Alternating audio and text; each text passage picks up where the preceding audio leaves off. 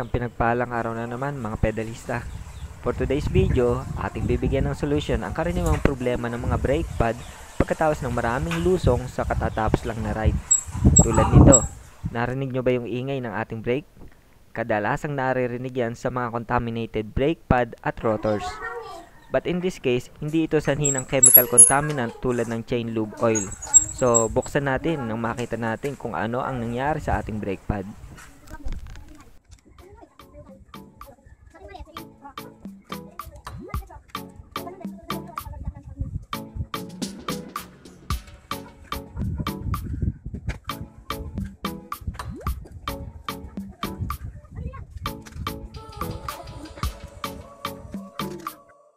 Ganito ang inyong caliper, madali lang tanggalin ang brake pad nito.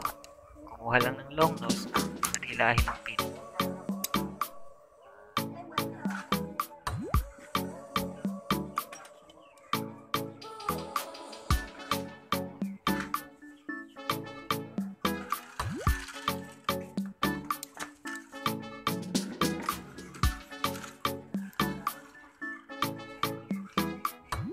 Kung mapapansin natin, pudpud na ang brake pad nito at tumulas na rin kaya hindi kumakapit ang rotors.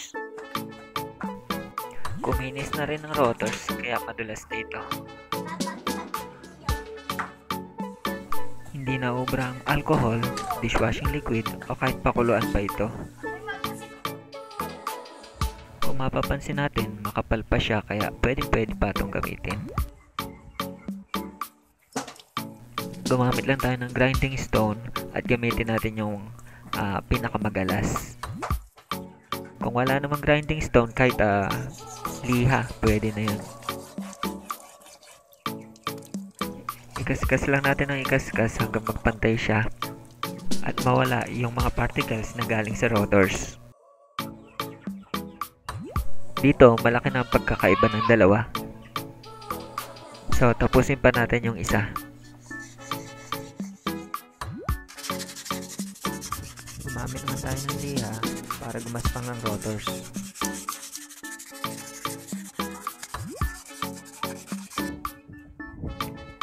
Gumamit ng lagaring bakal para lagyan ng kanal ang brake pad.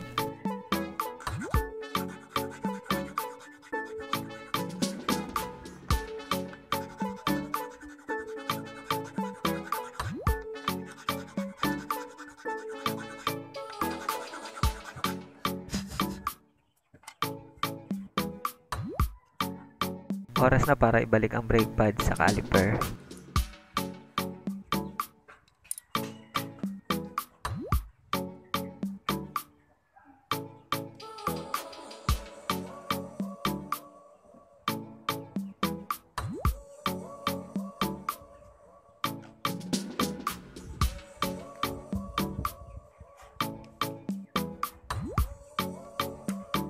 Siguraduhin lang na nakalapat ang lahat.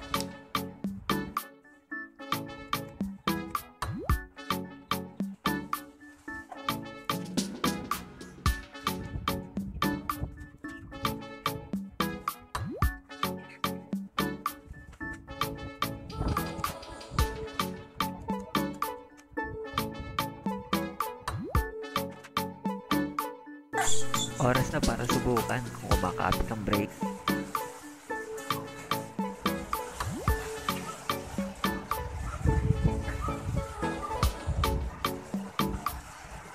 Wala nang ingay at malakas na rin ang kapit ng brake pad.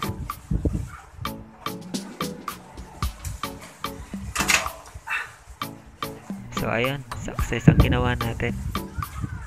So kung hindi pa kayo nakaka-subscribe, mag-subscribe na kayo manood kayo ng mga videos na makakatulong sa inyo. Like and share na rin para dumami ang mga views natin. Hanggang dito na lang. God bless and goodbye.